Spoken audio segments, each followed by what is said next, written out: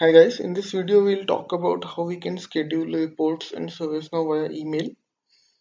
So sometimes it is required to send couple of reports to the users so that they can check on daily basis or on weekly basis in the emails like how many tickets are still in open status, how many tickets are closed and how many tickets are pending since last week or maybe last month or last couple of months. So let me just go to the scheduled reports module which is available out of the box in ServiceNow. And I'll click on new button over here. Let me just give any name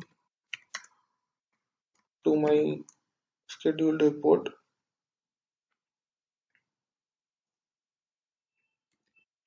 And let me just select one of the reports. I selected open incidents by assignment and I have to give some time over here at which time this report should run daily and I will mention my email ID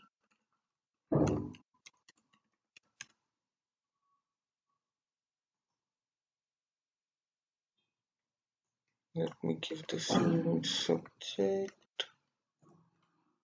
Some introductory message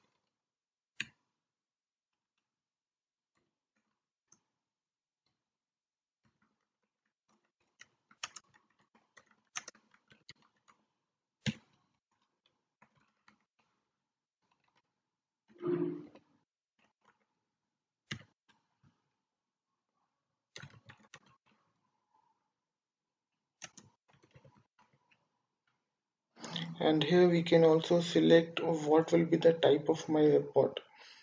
Whether it will be a PDF or a PNG image. Depends on the type of image for report sorry. So if uh, my report is contains the list of items then we will see the type is Excel also available in this type field. So let me just submit my record and if I want I can just execute it now and check. And I should receive an email on the same in some time.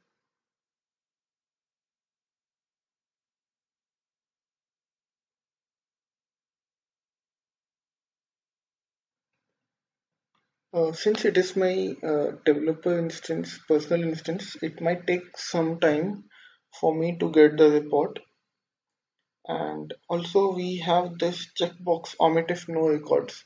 So if there is no data in the report what will happen is the report will not be sent to the user.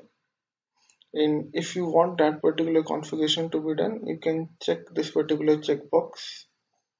So let me just check in my gmail if I have got the report. Yes it is there. Uh, the introductory message which we gave there is same over here. And we can just open the report and check like whatever is there in the report. So this was all about the schedule report and I've opened this report in a new tab as well so that we can check if it is the same report which we have received on email. So guys thank you for watching this video